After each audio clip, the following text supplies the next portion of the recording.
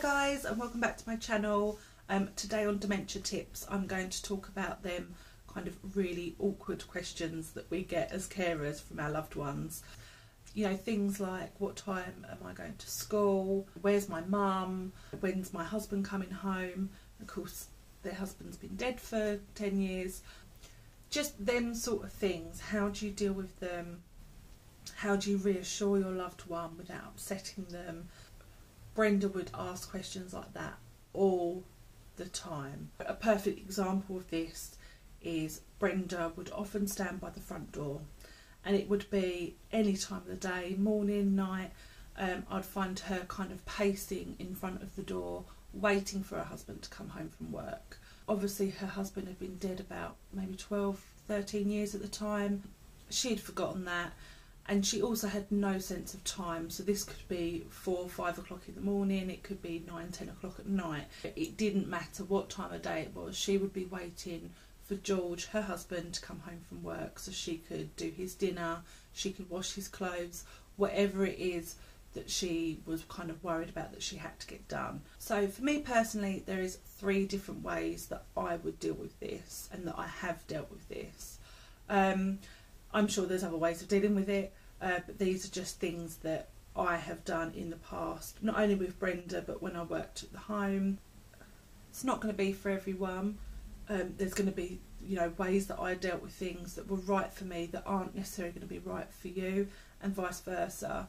Um, it is very trial and error.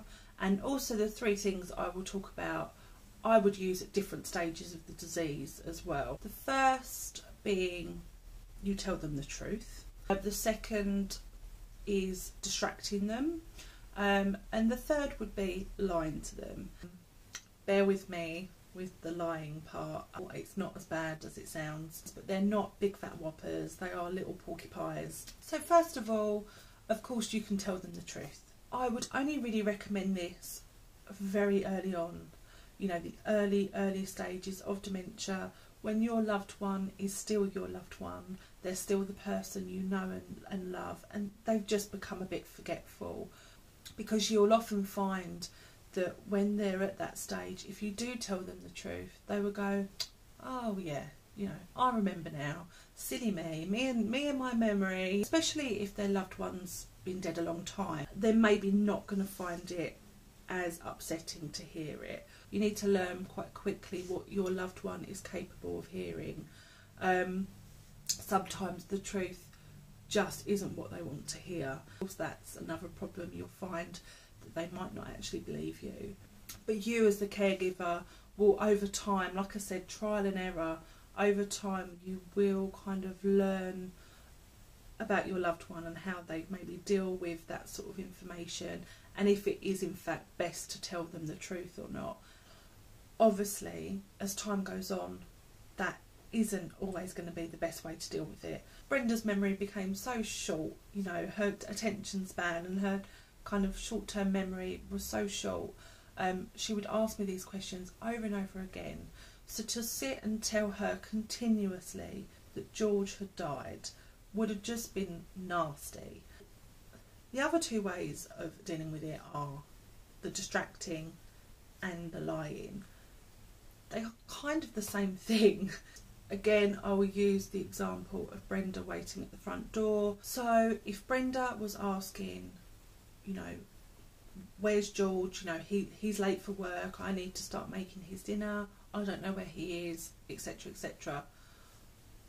I would distract her I would maybe say to her, Well, Brenda, what, what time does George normally come home from work? And she would say, Five o'clock. Um, and I would say to her, Well, it's, it's only three o'clock. It may have been ten o'clock at night, but she knew no different. I would maybe walk her to the fridge.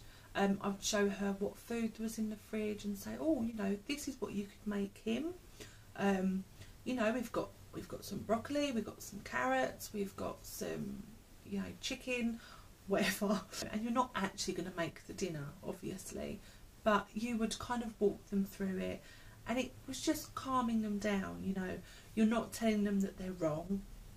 You know, you're not telling them that their loved one's dead. You're not upsetting them in any way. You're just taking them away from that front door you're distracting them, um, reassuring them that George will be home from work later, but it's just a little bit early at the moment, and let's go and look and see what we're going to make him for dinner later on in the day. You kind of have to learn to lie a little bit. You need to learn to just kind of bend things slightly. If it is nine o'clock at night and your loved one will kind of believe that it's the middle of the day, kind of got to go with that.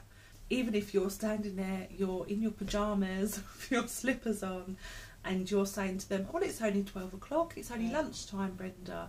You know, George isn't going to be home for another five hours. You just, you kind of have to, you know, distract them and lie, lie a little bit. You know, it's not harming them. Of course, another way of distracting them is by giving them a job to do. A common one would be uh, I put the feather duster in her hand. Um, it sounds terrible, um, and she would spend hours dusting the same thing over and over again, but it's horrible for us to witness. Um, you know, and it would get upsetting sometimes. But, in her world, she loved it. She was helping me clean. She was making the house nice for her husband for when he came home from work you know, Brenda was a housewife. Um, that was what she done. So for her, she was happy dusting all day long. Uh, you know, I'd give her other jobs to do as well, but dusting was a very common one, and it was an easy way to calm her down. And it was something we could do together as well. You know, I'd get the other feather duster out, and we'd kind of waggle these things around together and, and get the house nice and shiny like I said, distracting and lying are very similar. You're not telling them really big lies, you know. You are just going to tell them little white lies, um, like it's a different time of the day. You just bend their reality a little bit. You just need to get yourself into their reality, understand what their world is like. You know, if your loved one thinks that they are a lot younger or that their spouse is still alive, or that their children are still children. You just kind of got to get into their world um, and help distract them within that world. You know, Brenda could spend hours cleaning. She, you know, she thoroughly enjoyed it. She would cook, she would clean. So I would just get her to help me do those things. And all the time she was distracted doing those things. She wasn't worried about what time she had to go to school or you know what time George was coming home for his dinner. But I'm sure there's hundreds of different scenarios out there that you're all facing. You just need to apply that to your situation. Um, you have to be a little careful that they don't catch you out.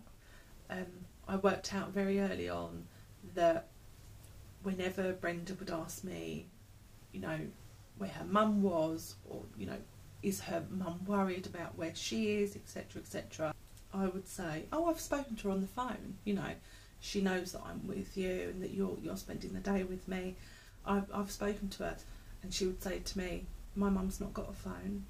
I think, oh, you have to be really careful, you know, because when Brenda was younger, of course her parents didn't have a phone. You know, you, know, you learn quite quickly. You know, I am I'm the kind of the younger generation, and I didn't think, oh, I mean, I knew that her mum didn't wouldn't have had a telephone, but it just didn't occur to me because we live in the world we live in now, and um, so Brenda soon caught me out on that lie. So you do have to be a little bit careful. You just you kind of have to be a little bit mindful of what you're saying, but you know, I just distracted her and it kind of it never happened again because I didn't I didn't say it again. So there are ways of dealing with it. Um, like I said before, there's probably other ways of dealing with it, but they are the three things that I would do. Our loved ones do put us in some sticky situations sometimes. Um, you know, a lot of the time, especially once Brenda's dementia got really bad, you know, and especially towards the end, her kind of attention span was so short. I mean, we're talking seconds. So it it did get harder in some ways, but easier in other ways because you could kind of distract her a lot easier, um, and she wouldn't she wouldn't know, and even if she did know, five seconds later she wouldn't she wouldn't remember it, and it, it sounds awful, but that was kind of the reality of her dementia at the end. Um, you know, she was severe. You know, the one thing I'd done, especially towards the end, you just have to kind of, if they are distressed, if they are asking questions that maybe you can't answer, the most important thing is that they're just they're happy and you calm them down, give them a hug, give them a kiss, whatever, um, and just reassure them. Um, and if that means lying to them, then that means lying to them. Um, you know, there are some people that don't agree with lying to them, and um, they kind of say, "Oh, you should tell them the truth, or you should distract them," or and yeah, you, you probably you probably should distract them. But like I said before, distracting and, and lying to them kind of comes hand in hand. Um, you know, and these are little white lies. These aren't big fat whoppers. Just reassure them, give them lots of love. Um, you know, if they're looking for their dead loved one, their children or whatever, don't correct them. You know, just just go with it. Get yourself into their mindset. Try and understand their world and their logic, because um, it is different to ours. Try and use these tips with that and, and try and help them. That's all you can do. You can only do your best and you can only try. Um, it is trial and error.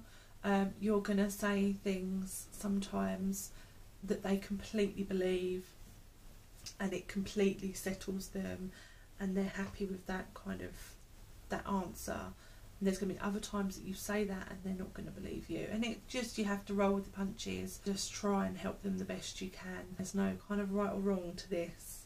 Um, you know you need to know that. You're not doing anything wrong.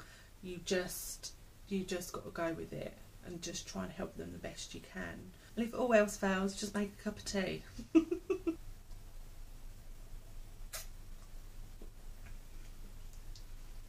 um, I hope this helps.